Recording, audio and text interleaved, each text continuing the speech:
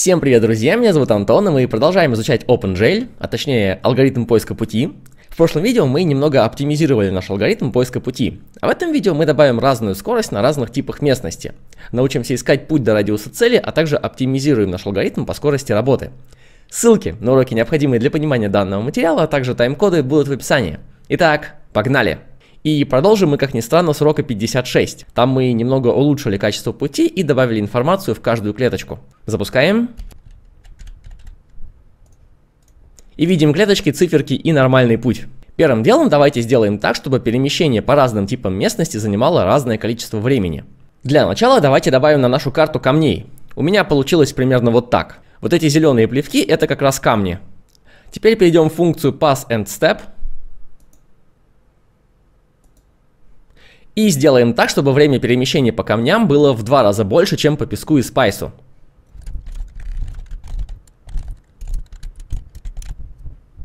Теперь, если найденная клетка является камнем, то время перемещения на ней увеличивается в два раза. И после этого пересчета прибавляем найденное время. Запускаем.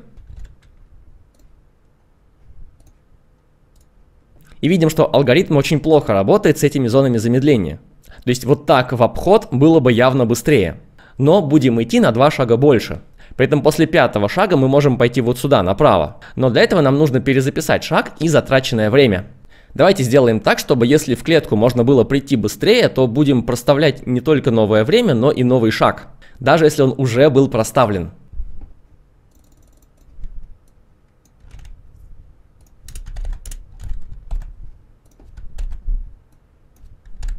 Теперь, если в клетку не вступала нога алгоритма, или до нее можно дойти быстрее, чем раньше, то проставляем новый шаг и новое время.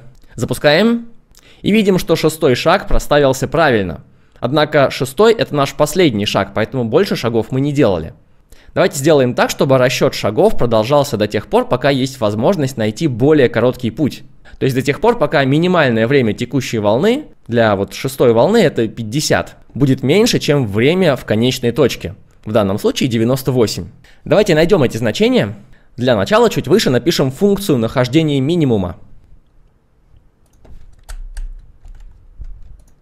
Здесь min_time это минимальное время, а tm это рассчитанное время. То есть если минимальное время больше рассчитанного, или если оно не задано, то задаем минимальное время из рассчитанного. В качестве результата возвращаем рассчитанное время. Теперь передадим в процедуру pass and step минимальное время на шаге и время в конечной точке. Далее вычислим оба времени.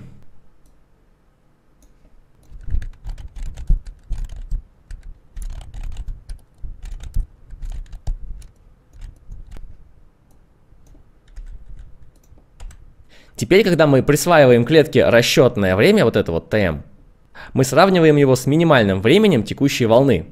И если расчетное время меньше, то проставляем его в минимальное время. А когда присваиваем время в конечной точке, то сравниваем расчетное время в клетке еще и с временем в конечной точке. Перенесемся в map find pass.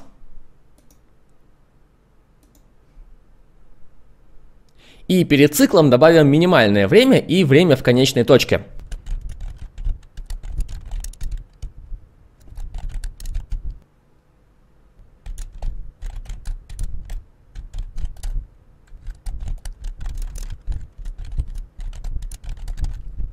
Время в конечной точке мы ищем все время цикла, поэтому инициализируем его до цикла. Минимальное время шага мы ищем на каждой итерации, поэтому инициализируем его каждую итерацию. Printf я добавил, чтобы посмотреть, работает ли поиск нужных нам чисел. Запускаем. И давайте отключим спам координат. Перейдем в Window Proc. И найдем тут VM Mouse Move. И удалим printf. Запускаем. И видим, что на шестом шаге минимальное время равно 50, а время в конечной точке 98. То есть очевидно, что есть возможность найти более короткий путь, и мы можем сделать еще несколько шагов. То есть шаги нужно делать до тех пор, пока минимальное время меньше времени в конечной точке. Перенесемся в процедуру map find pass. И поставим новое условие завершения поиска пути.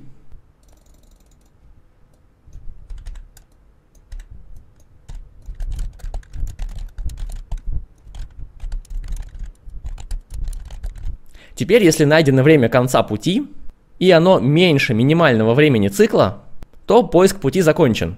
Функцию pass_end_step можно переименовать в pass_step, так как теперь это просто один шаг пути. Перенесемся в pass_end_step и изменим заголовок функции. И так как функция спекнулась в процедуру, то ретерны больше не нужны. Удаляем. Запускаем. Пробуем построить путь. И видим, что путь не строится. Дело в том, что мы сделали целых 10 шагов. И из этой клетки мы ищем девятый шаг, у которого время в пути меньше, чем время в этой клетке. А такой клетки нет. Для решения данной проблемы давайте запомним, на каком шаге был найден кратчайший путь. В данном случае на шаге 8. После чего будем восстанавливать путь от запомненного шага. Для этого добавим новую входную переменную в pass_step.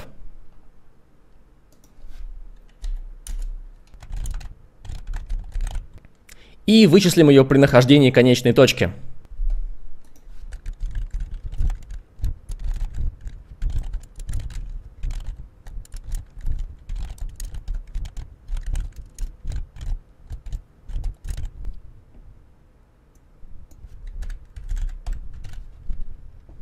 Теперь, если обновляется время конечной точки, то нужно также обновить шаг конечной точки.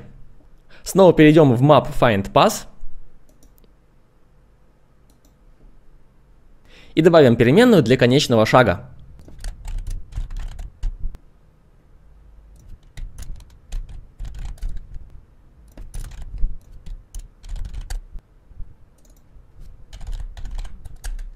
Теперь найденный шаг конца пути будем передавать в процедуру построения пути. Также для проверки выведем конечный шаг в консоль. Запускаем. И теперь путь корректно строится из найденного шага. Однако такой способ поиска пути подойдет только для милишников. А что делать, если у нас юнит дальнего боя? В этом случае нам нужно искать путь до радиуса, с которого можно обстреливать цель. Давайте чуть выше напишем процедуру, которая отметит на карте необходимый радиус. Здесь мы просто проходим по всем клеткам в квадрате, и если они внутри карты и в заданном радиусе, то отмечаем клетку как конечную. В целях оптимизации корень не извлекаем. Теперь перед поиском пути будем задавать радиус. Допустим, у нашего юнита дальность 5,5. Зададим все точки в радиусе цели как конечные.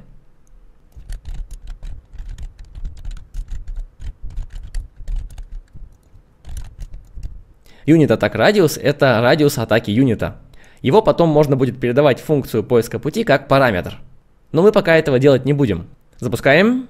И видим, что путь снова не строится. Дело в том, что конечной точкой сейчас является центр круга из минус единичек.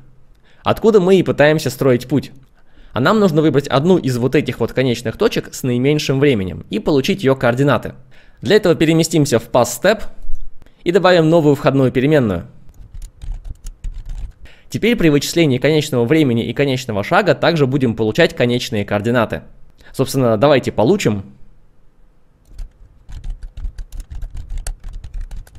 Перенесемся обратно в map find pass.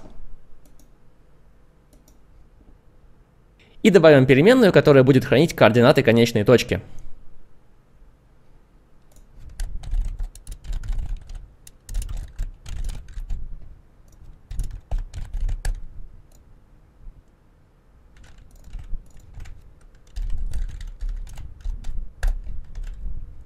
Найденную конечную точку будем передавать в процедуру построения пути. Запускаем. И теперь путь строится до заданного радиуса.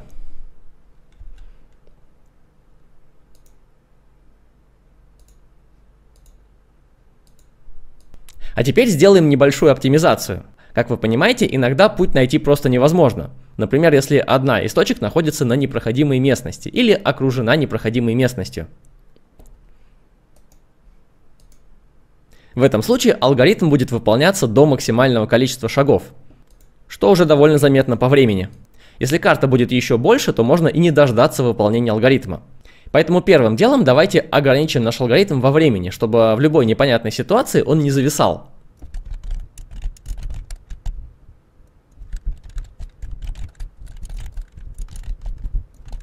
Функция getTickCount возвращает количество миллисекунд с момента запуска системы.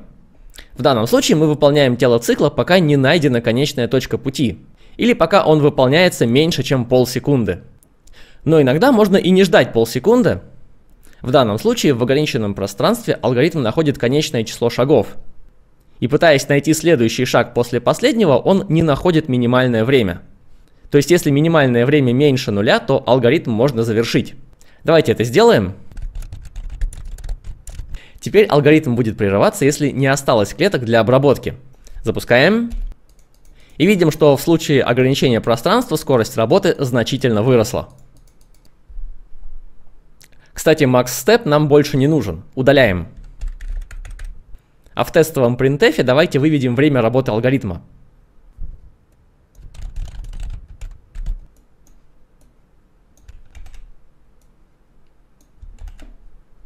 Запускаем. Удаляем оба тестовых параметра. И снова запускаем. Как видите, на карте 200 на 200 наш алгоритм работает всего 30 миллисекунд. Давайте попробуем карту побольше. На просторах интернета я нашел вот такой вот ужас кошмарный. Это лабиринт. Сохраните его в папке с картами под названием map3.png. И давайте скормим этот лабиринт нашему алгоритму. Перейдем в GameInit и загрузим новую карту. И еще давайте перейдем в Zoom и сделаем минимальный размер клетки 1. Запускаем. И видим, что даже небольшой путь рассчитывается, как бы это сказать помягче, долго. Вот. Обратите внимание на время, почти полсекунды для малюсенького кусочка. Давайте сделаем так, чтобы на каждой итерации мы проходили только по тем клеткам, которые нам нужны, а не по всей карте 1000 на 1000. Для этого создадим массив, в который будем их записывать. Перейдем в main.h и добавим структуру для нашего массива. TWave — это структура для хранения массива с координатами нужных клеток. PT — это динамический массив с координатами клеток. KNT — это общее количество элементов массива. Used — это количество используемых элементов массива, то есть количество элементов массива, которые заполнены данными. Перенесемся в main.c в процедуру map_find_pass. И чуть выше нее напишем процедуры очистки и инициализации волны. При инициализации волны просто обнуляем все, что видим, и вызываем процедуру очистки волны. При очистке волны задаем начальную длину в 1000 и говорим, что используемых элементов у нас нет. Про функцию reallog я рассказывал в 25 уроке по языку C. Здесь мы выделяем память для необходимого количества элементов. Далее напишем функцию добавления координат в волну и функцию смены волн. При добавлении координат просто заполняем следующий элемент массива и увеличиваем счетчик используемых элементов. В случае, если нам не хватает места, то увеличиваем размер массива сразу в два раза. При смене волн просто меняем местами указатели обоих волн. Мы проходили указатель на указатель в 26 уроке по языку C. Итак, оснастку для работы волн мы написали, давайте ей воспользуемся.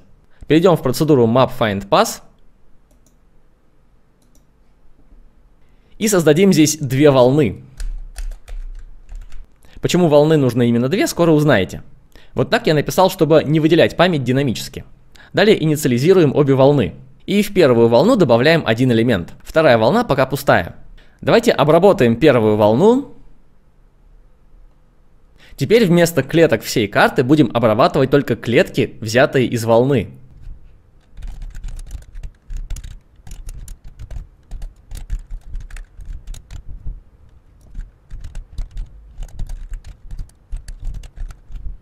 Здесь мы проходим по всем клеткам первой волны и делаем шаги в соседние клетки. То есть во вторую волну мы будем записывать все клетки, в которые мы сделали шаги из клеток первой волны. Таким образом, во второй волне у нас сформируется новый массив для обработки.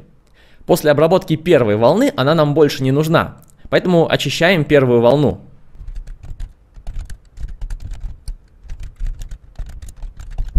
Далее просто меняем местами волны. Таким образом, вторая волна становится первой, и на следующей итерации мы снова обрабатываем первую волну, так как список клеток для обработки снова хранится в первой волне. Перенесемся в pass step. И, во-первых, получим новый параметр – волну. New Wave – это новая волна. В нее будем сохранять клетки для обработки на следующем шаге. Давайте при обработке пустой клетки добавлять элемент в волну.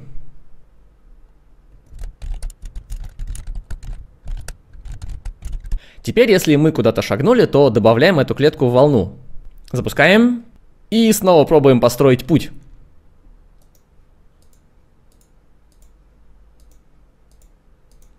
Обратите внимание, что путь на карте 1000 на 1000 строится катастрофически быстро. Так как мы теперь не перебираем все клетки карты, а перебираем только нужные нам клетки. Давайте построим путь побольше. Так, это что такое?